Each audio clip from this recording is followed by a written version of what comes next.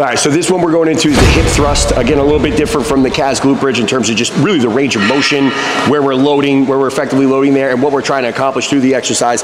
This one I really like to put in there to focus on more power, I guess you would call it, lower body as a whole, really trying to develop strength, and again, being able to effectively load uh, uh, the glute in that length of position a little bit better. So the difference here is gonna be, one, we get set up, as opposed to talking about the difference, let's just look at this as an exercise on its own, right, and make sure that we understand that we are coming all the way down. Yep, boom. And now we're gonna drive up through that zone. So now it's almost like we're coming down, right? And we wanna be effectively, you know, controlled through that eccentric.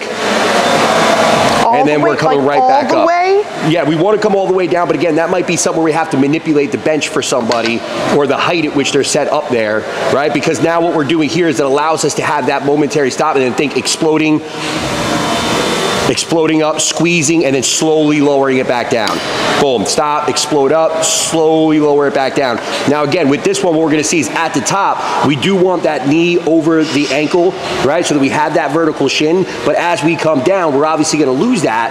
And now what that does is it's essentially gonna bring in these other muscles that are working as well. So this is more of a total lower body exercise, but again, we are going to load the glute pretty effectively, and we can learn a little bit of a better hip flexion, hip extension through an exercise like this. The only other key thing here that we want to be considerate of is exactly like on the KAS glute bridge, that sternum should be coming with those hips. So you see as she comes down, as she comes down, the sternum's coming with it, right? Whereas some people, what happens is this stays here, and then they're rotating backwards. That's no bueno. We don't want to do that, all right?